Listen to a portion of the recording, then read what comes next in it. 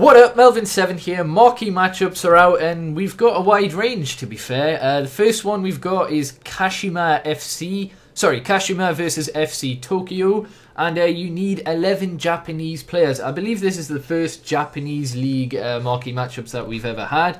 And uh, yeah, it's fairly simplistic. You need one Tokyo or Kashima player. And uh, I believe well, one of these certainly is. I mean, obviously, I'm not really an expert in this league, so I don't know. But there, the cam is from uh, Tokyo, and uh, the rest of them, you just need six different clubs. Very, very easy. You can use bronze players, so I've just used the lowest rated that I had in my club. Submit that, 95 minimum chemistry, so that gives a little bit of leeway in positions. If you don't have some of the positions like the fullbacks, they might be expensive. Anyway, next one, Sevilla versus Real Betis, 11 Oh, well, actually, this is the only one that isn't league specific, but it's still easier just doing it in La Liga. Uh, if these La Liga players are too expensive, maybe try La Liga Santander 1. Sorry.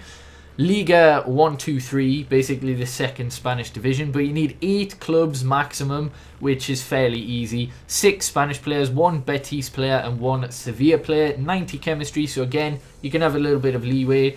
And uh, yeah, I've just basically gone for some of the untradables in my club, some of the lower rated players. I've made sure I've got six Spanish players, very, very simplistic there. Uh, the Sevilla player I've got is the goalkeeper. And um, I've actually got two Betis players, so you know what, I'm going to swap one of them out because they'll, they'll go for a little bit of an enhanced price, I would imagine. So we'll put, uh, put some other random in here. Uh, I mean, Inaki Williams doesn't really go for anything anyway, but uh, there we go. That's a 15k pack for that one. Now we've got Galatasaray versus Besiktas. You need 11 Super League players, 4 rares, 1 from Besiktas, 1 from Galatasaray. All have to be gold. Very, very simplistic again. So we've got the Galatasaray player Inan here, and um, the Fenerbahce. No, it's not Fenerbahce, it's Besiktas, which is the centre back here. I don't know why I've got him in cam, but I still got 100 cam anyway.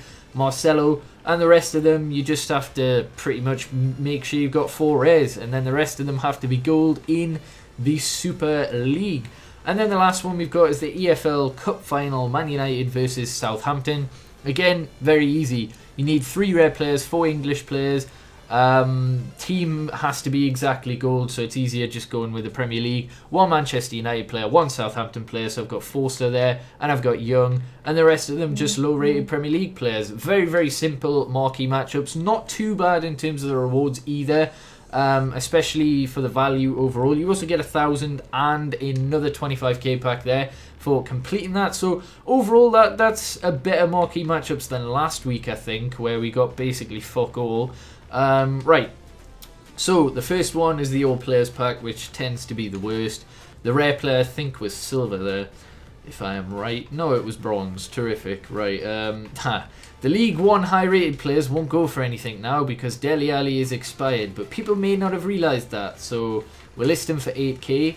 See what uh, if he sells. Do we get anything else? We get another League One player. Maybe he can sell for a little bit. Nope.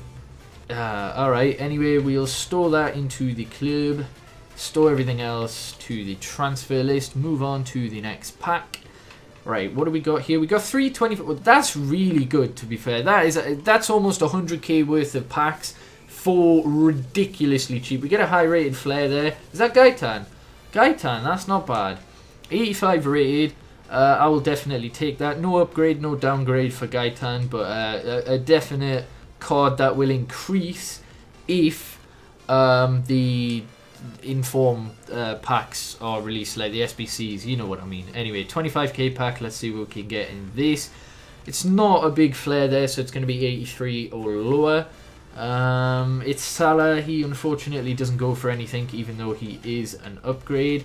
Um, I believe I sold him for like 1.4 yesterday, so I think that uh, CDM is also an upgrade, but of course they're not really that desirable.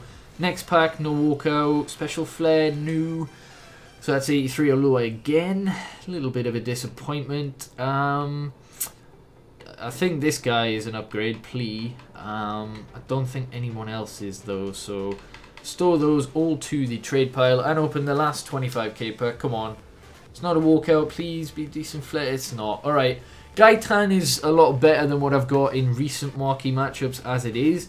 Um, so, yeah, I mean, I've been a little unlucky, not the Gaitan, but the 25k packs, and I suppose you would get, well, you'd at least get your money back with those kind of packs, like 90k value of packs for probably, I'd guess 30k. Like it can't be more than 40 uh, tops for all four. So anyway, hopefully you have enjoyed. Subscribe if you haven't already. Like the video, and yeah, peace.